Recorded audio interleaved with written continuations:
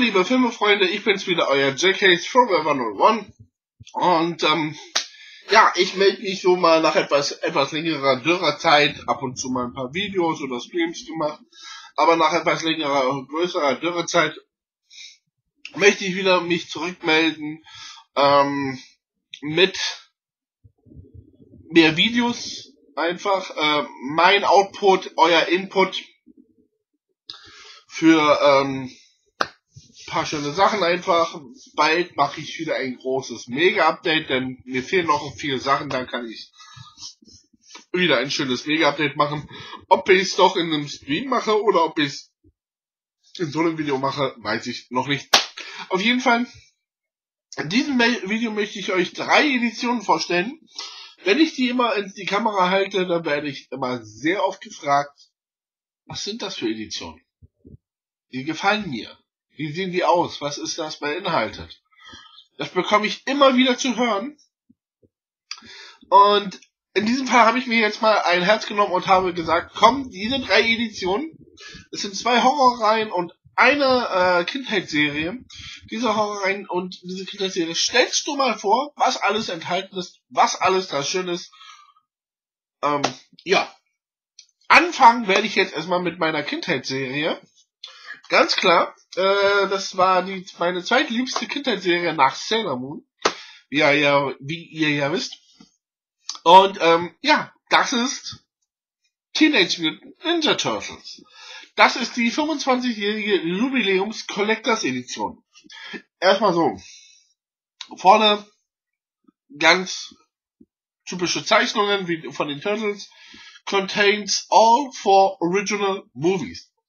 Ja, vor wird hier.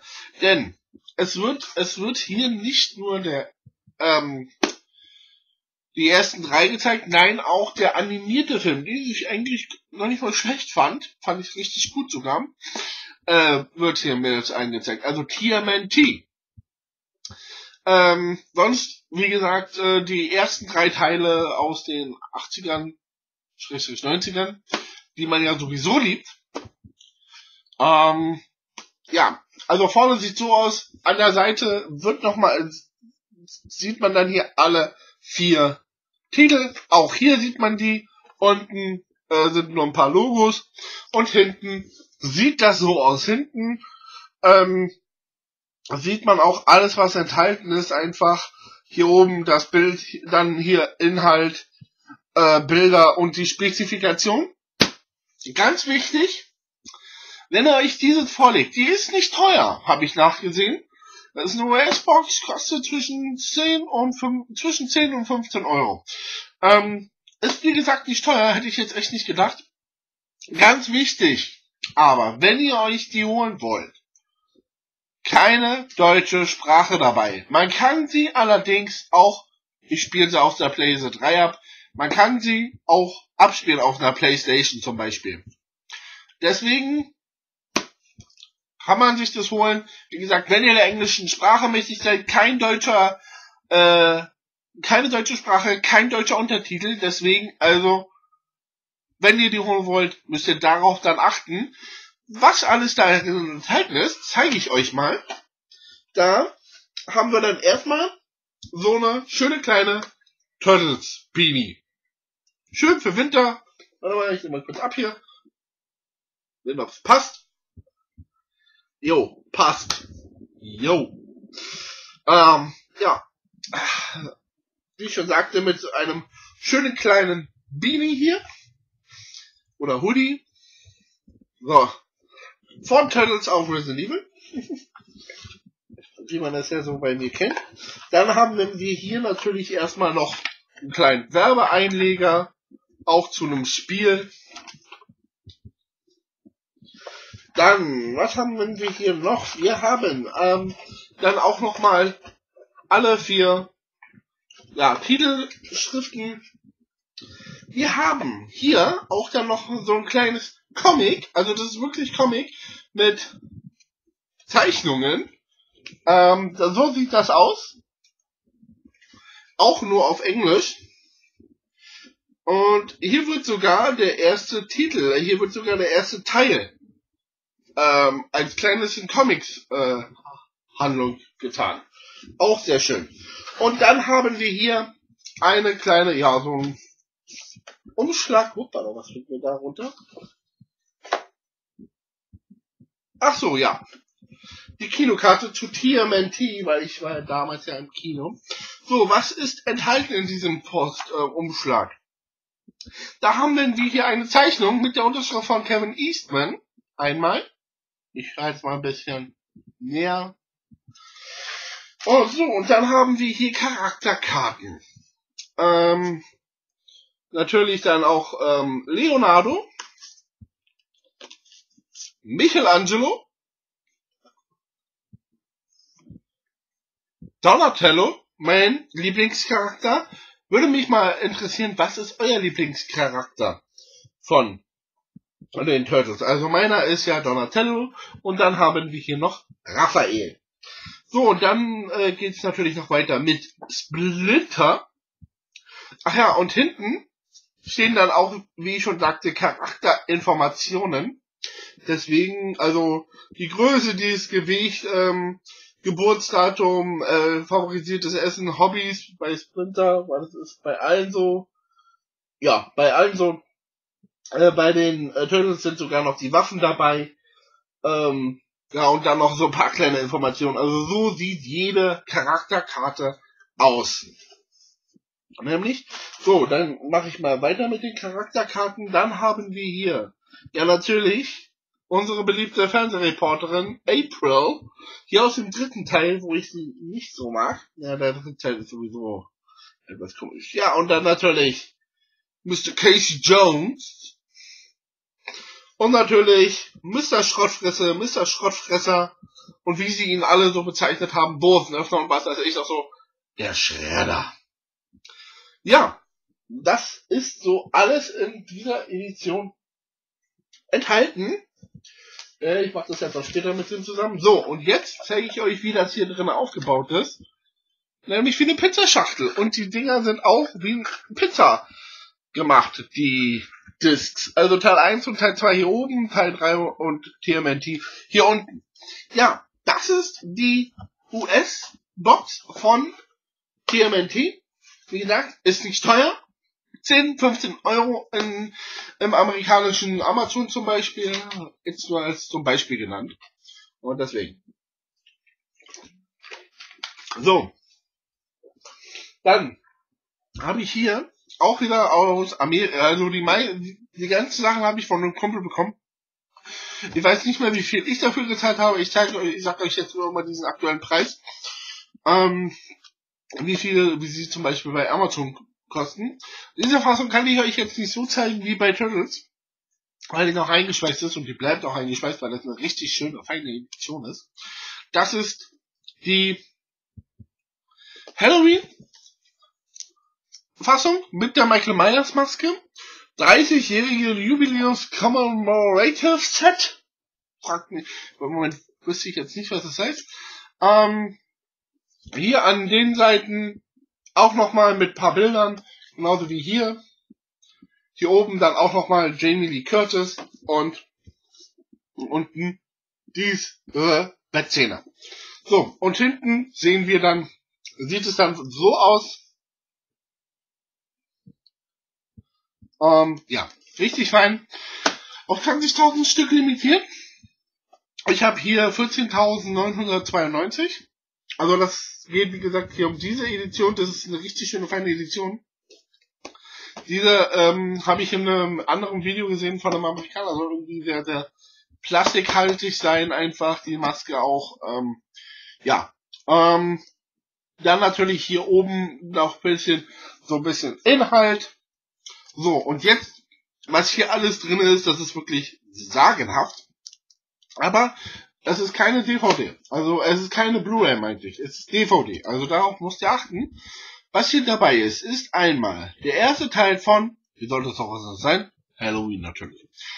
Ähm, hier ist die einzige Blu-ray, die hier drin ist, ist nochmal der, äh, ist nochmal Halloween, also der erste Teil. Also der erste Teil in DVD und Blu-ray sogar. Dann der Extended Cut vom ersten Teil allerdings wieder auf DVD. alles jetzt wieder auf DVD. Halloween, die äh, Dokumentation 25 Years of Terror befindet sich hier drinne. Ähm, und dann noch Teil 4 und Teil 5, also The Return of Michael Myers and Revenge of Michael Myers. Das ist alles in dieser schönen Box enthalten. Ähm, ist jetzt auch noch im Preis recht moderat, sagen wir es so, mit 116 Euro umgerechnet, also 127 Dollar, äh, US-Dollar kostet das Ding, 116 Euro, müsst ihr noch Versand wahrscheinlich auch aufrechnen, dann wisst ihr das. Ja, kann, weiß, ob es jetzt abspielbar ist, weiß ich nicht, denn das bleibt eingeschweißt, weil das ist eine, eine der schönsten Editionen, die ich habe und deswegen die will ich hier definitiv behalten auch. Und ähm, ja, bleibt bei mir, ist eine schöne Eyecatcher, vor allen Dingen mit dieser Maske. Kann ich wirklich nur empfehlen. Wer das als äh, Eyecatcher auch haben will, wie gesagt, 130 US-Dollar, also 116 Euro kostet diese schöne Box hier. Ob es abspielbar ist, müsst ihr selbst sehen. So, und jetzt kommen wir wohl, ja, zur kurzen Edition. Und ich bin froh, dass ich eine bekommen habe. Ich habe definitiv viel weniger bezahlt. Das kann ich schon mal sagen, als ähm, über meinen Kumpel. Und das ist hier wirklich die Oberkrönung. Es geht um diesen Kerl da, nämlich um Jason fucking Voorhees. Ja, es geht um diese Box hier. Das ist die Freitag der 13. Collection Box alles auf Blu-ray, alles allerdings R-rated, also keine unrated oder irgendwie so dabei. Und deswegen, ja, deswegen müsst ihr da vorsichtig sein. Es gibt hier auch keinen deutschen Ton und auch keine deutschen Untertitel. Muss man auch wieder vor berücksichtigen. Was hier sehr schön ist, das ist hier geprägt. Also man sieht, man sieht es ja auch hier schon, wenn ich das auch schon so halte, dass man das, dass das hier alles geprägt ist. Sehr schön. Dann gibt es hier so eine schöne Pappbanderole. Das nehme ich jetzt mal kurz ab. Und ähm, so sieht es hinten aus.